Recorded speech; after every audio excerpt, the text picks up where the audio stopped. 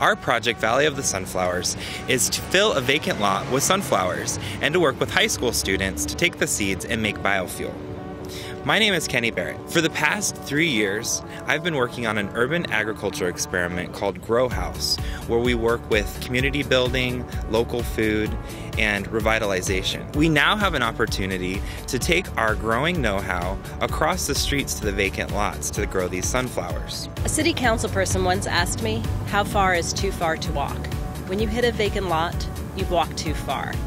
I'm Cindy. I'm a small business owner, a community organizer, an architect once described our district as one filled with missing teeth.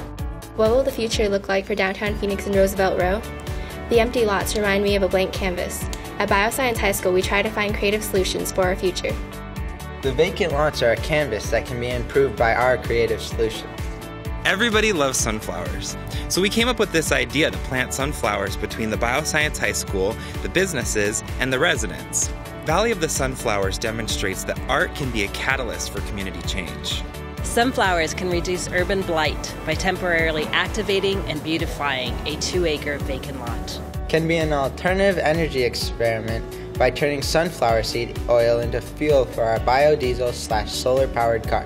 Sunflowers can bring excitement and inspiration to downtown Phoenix. This project can be a transformative educational experience for local students while contributing to urban vibrancy and catalyzing conversations about what the future of Phoenix could be.